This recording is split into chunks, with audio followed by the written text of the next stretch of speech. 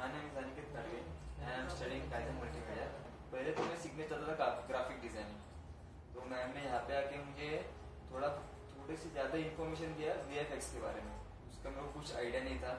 Ma'am ने मुझे something हम लोग ने एक घंटे बात की। तभी मुझे वीएफएक्स क्या है, क्या होता है, इसकी, किस किस चीज़ें में यूज़ होता है, वो सिखाया। तो मुझे उसमें इंटरेस्ट आने लगा। तो उसी तरह मैंने बी भी ले लिया विद ग्राफिक डिज़ाइनिंग तो मैंने क्लास ज्वाइन किया दूसरे दिन ही।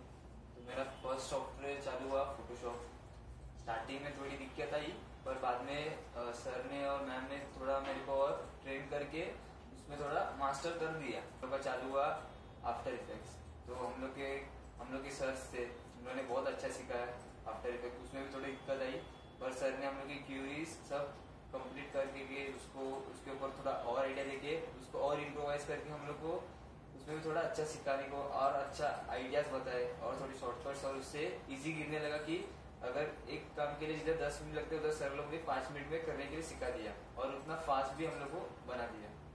और क्लास में एवरी सैटरडे ना प्रेजेंटेशन होता है। जैसे हम लोग एक सॉफ्टवेयर खत्म होने के बाद हम लोग का प्रेजेंटेशन चालू हो जाता है। तो प्रेजेंटेशन में ना एक्सपर्ट्स आते हैं। उन लोग के रिव्यूज़ देते हैं थोड़ी गलती निकालते हैं वो गलती को रेक्टिफाई कर लेते हैं हम लोग और वापस उसके बाद वो रेक्टिफाई होने के बाद गलती वापस एक बार उसका फाइनल प्रेजेंटेशन होता है वो होता है हम लोग के सर्स लोग के साथ मेन फैकल्टी रहेगी उन लोग के साथ। तो ऐसे ही हम लोग का जो ये कॉन्वर्जेशन चालू रहता है उससे हम लोग को सीखने को भी मिलता है गलती भी पता चलती है और नेक्स्ट टाइम हम लोग गलती ना करें इसके लिए वो हमने हम, हमें थोड़ा आइडिया दे देते हैं।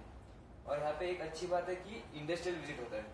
वो इंडस्ट्रियल विज़िट कहाँ पे भी हो सकता है? अगर आप लोग का डिज़ाइन ग्राफिक डिज़ाइनर हो अभी आपको प्रिंटिंग लाइन का सब आपको नॉलेज नहीं है तो वो हमें एक इंडस्ट्री लेके जाते हैं, उधर हम लोग को सबको एक बता देते कि स्क्रीन पेंटिंग क्या होता है डिजिटल प्रिंटिंग क्या होता है ऑफसेट क्या होता है। उसमें सब फ़र्क बता देते हैं, वो कैसी मशीन ऑपरेट की जाती है, उसमें क्या यूज़ होता है, कौन सा इंक यूज़ होता है, कौन सा इंक यूज़ नहीं होता है कौन से इसके लिए क्या बेनिफिट है, वो सब हमें बताते हैं। और ये बहुत, ये ये जो चीज़ है, वो कहाँ पे नहीं होती, और ये बहुत अट्रैक्टिव करने में, इसमें सीखने को बहुत